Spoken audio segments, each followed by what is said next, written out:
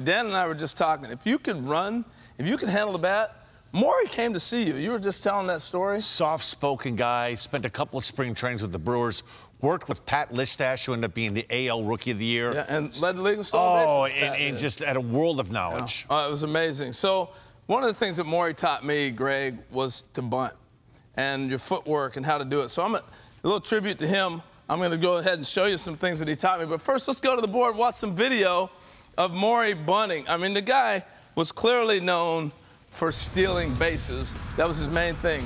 He never thought, he and Lou Brock talked about this a lot. A left-hander is easier to steal off than a right-hander because they're always going to be predictable and easy. They're looking right at you. They're easier to read. So he would just drive them fits. But the jumps he used to get, his explosion, the balance, all that stuff that he would talk about, continually worked.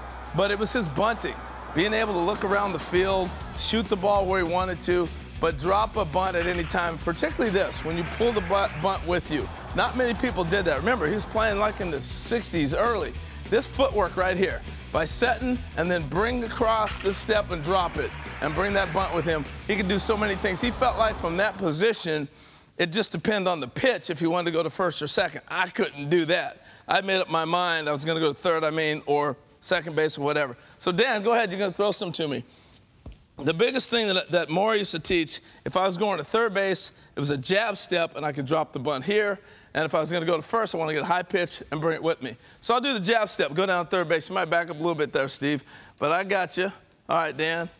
Uh, right there. Look at that bunt. Well, that's a beauty right Oh, there. that's a beauty. That, that is Be so proud of that one. Uh, There's another one. right there. that's two. So it's just the footwork. This little jab step allows me to come here, look it in, and I'm Look at that. I could be dead in that ball. Dead in that thing, so too. Kenny Lofton, a lot of guys did that. Then the ball you would pull with you. And this All is just a foot race with the pitcher. I want the ball up, and Look I bring it with me. All right, right there's a knock. I just wanted the ball right here. I get it there. Oh! And just turn it into a foot race. money. Easy money. I know there's a lot of things I can do, but I can't beat you in a foot race to first base. That I'll I tell you do what, know. last thing, Greg, I'll throw it to you. Maury told me, when you stop running as a base runner, a threat like myself, now all of a sudden 3-2 becomes a junk pitch. But if they know I got a threat to run, they're going to make me swing the bat and I get my fastball.